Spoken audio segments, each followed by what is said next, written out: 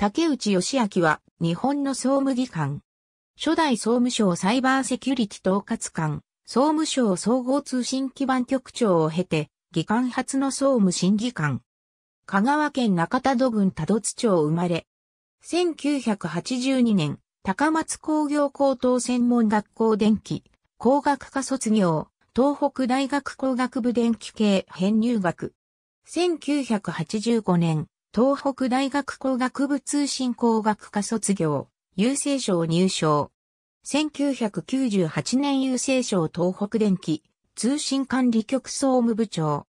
1999年郵政省電気通信局電波部衛星移動通信課次世代航空通信システム開発室長。2001年総務省情報通信政策局宇宙通信調査室長。2003年総務省情報通信政策局研究推進室長。2006年総務省情報通信政策局宇宙通信政策課長。2007年総務省総合通信基盤局電気通信事業部電気通信技術システム課長。2008年総務省総合通信基盤局電波部移動通信課長。2010年総務省情報通信国際戦略局技術政策課長。2011年総務省総合通信基盤局電波、政策課長。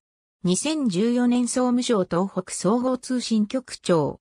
2015年経済産業省大臣、官房審議官。